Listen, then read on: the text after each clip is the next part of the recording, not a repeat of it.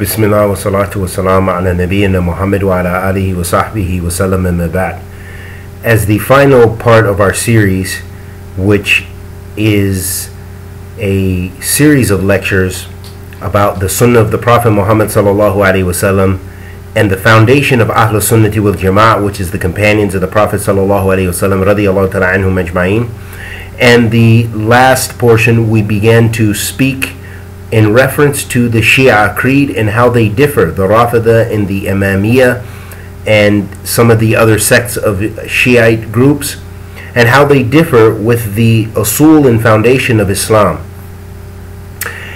And going and referencing some of their books, and their most respected book, as we mentioned, Al Kafi. There's a title, uh, a, a chapter entitled "The Imams alayhim salam know knowledge of the past and the future, and that nothing escapes them." And this was in volume number one, page 261. So here that they claim in one of their mo- the most famous and important books in Shia uh, theology, they have a chapter entitled that their imams, and then they say alayhim salam. This is the kind of uh, manners we show with the prophets, alayhim after salatu salam. But they refer to their imams as and and supplicate for them, saying, uh, "May Allah, you know, alayhim uh, salam. May the peace and blessings of Allah be upon them." And they claim that their imams have knowledge of the unseen. When Allah Subhanahu wa Taala uh, mentions in the Quran. And the Prophet ﷺ also showed us that he did not have knowledge of the unseen. Only Allah subhanahu wa ta'ala knows when the hour will be. Only Allah subhanahu wa ta'ala, meaning the day of judgment, the day that it will happen. Only Allah, subhanahu wa ta'ala knows when creation began and when creation will end and when you will die as an individual, and when your children will be born, or if and when you will have children. This knowledge is with Allah. This knowledge is never with a scholar. This knowledge is never with a marid. This knowledge is never with a sheikh. This knowledge is never with an imam or any other individual. Anyone who says this and claims this knowledge, then they have uh, exa- they have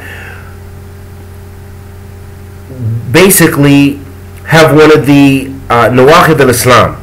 They have um, verified that they have left the fold of Islam because they are claiming knowledge that only Allah subhanahu wa ta'ala has as knowledge. So another deviant aspect of the creed of the Rafida is that they view Ali radiallahu anhu as being infallible.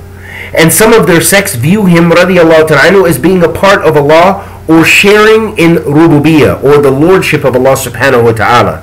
And amongst the countless fabricated uh, narrations they attribute to the companions to substantiate their creed are narrations, narrations such as what is found in their book Basa'ir ad-Darajat. On page 81 where they accuse Ali radiallahu ta'ala anhu of saying I am the eye of Allah I am the hand of Allah and I am the side of Allah and the door of Allah.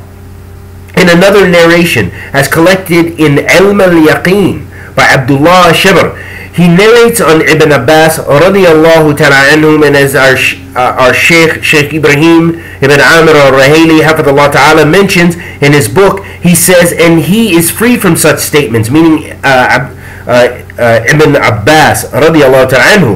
And they narrate this Abdullah Ash-Shabr says in his book al-Yaqeen, he says that Ibn Abbas radiallahu says, Verily Allah the Almighty on the day of judgment will appoint Muhammad sallallahu wasallam as the one who takes account of the prophets.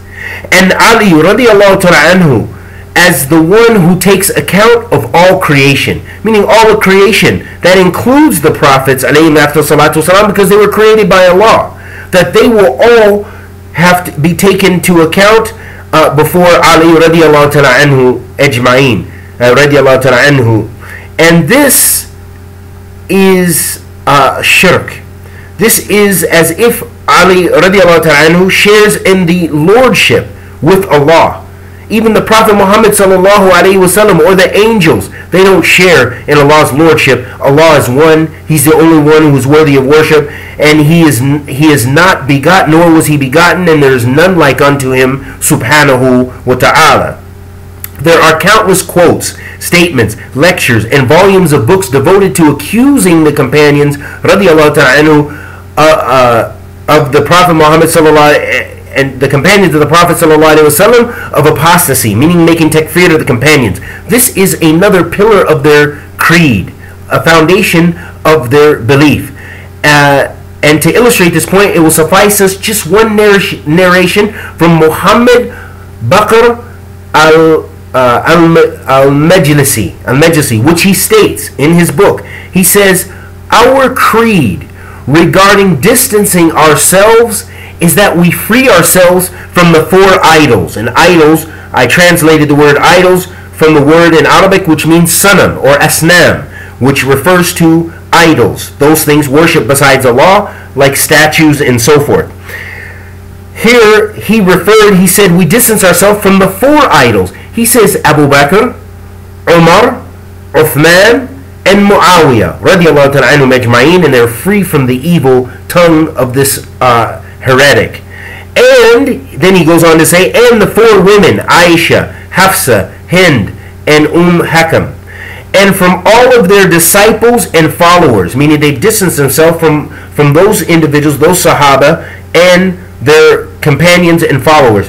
And he said, and they are the evilest of Allah's creation on earth, and that faith is not completed in Allah and His Messenger, and the Imams except after freeing oneself from their enemies.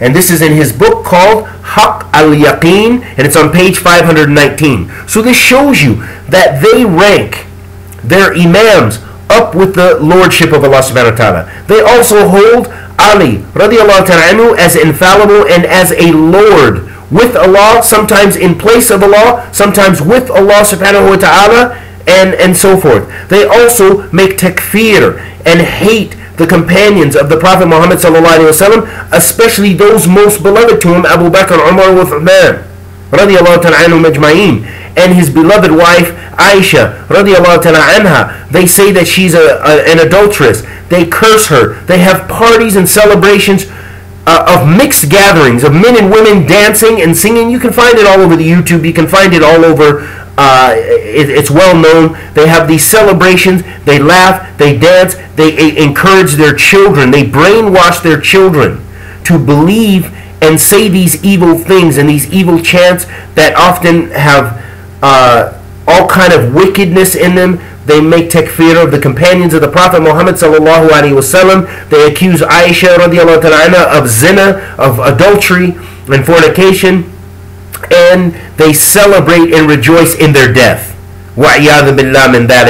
So is there any disbelief after disbelief? So reflect, beloved Muslims, on the creed of this sect or of this religion and understand the Jews and the Christians and Buddhists respect your faith, respect your religion more than these people. Ask yourself and question the person who says the Shia are our brothers or they are really nice people. And question the intelligence and intellect of the person who leaves the disbelief of Christianity or of any other faith to embrace the heresy of the Rafida the Shia. Shaykh al-Islam ibn Taymiyyah uh, rahimahullah ta'ala states about the Rafida the Shia, he says, Allah knows best. Allah's knowledge is sufficient. He said there is no there is not a group more evil than them from amongst all the all the sects associated with Islam, with innovation and misguidance, nor more ignorant or lying, nor oppressive, nor closer to disbelief, wickedness, and sin, nor further than true iman, meaning true faith, than them.